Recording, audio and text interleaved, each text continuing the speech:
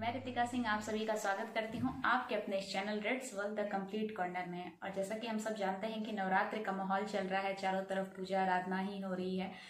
भगवान राम की पूजा की जा रही है, रामनवमी है। तो क्यों ना चले हम शंख कैसे बजाएँ? क्योंकि बहुत सारे लोग अपने मंदिर में, अपने घर में शंख तो रखते हैं, लेकिन उसे बजा नहीं पाते हैं।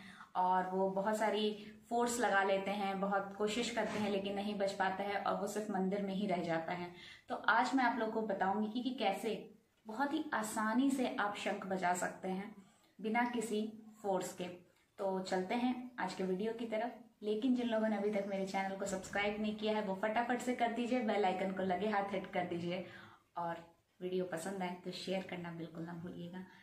चलते हैं आज के वीडियो की तरफ़। लेट्स गो जैसे कि हम शंख को जब लेते हैं तो कोशिश यही करें कि हम उसे किस तरीके से होल्ड करते हैं।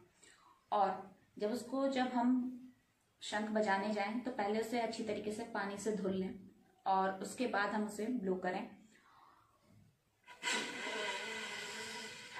बिल्कुल ना करें। बहुत ज़्यादा ताकत लगा करके और चारों तरफ़ से हवा जब निकलने लगती है तो शंख बिल्कुल भी नहीं बचता है।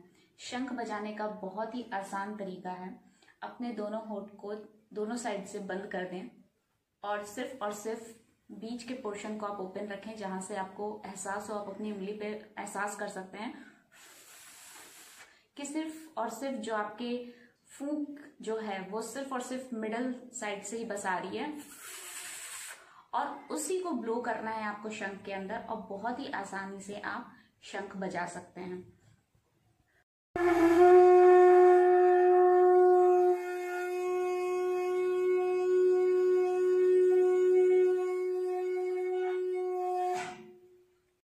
मेरा वीडियो ये बताना बिल्कुल ना भूलिएगा, अपने लाइक्स कमेंट्स करते रहिएगा वीडियो पसंद आए तो उसे शेयर भी करिएगा। चैनल अब तक सब्सक्राइब नहीं किए तो ज़रूर से कर लीजिएगा।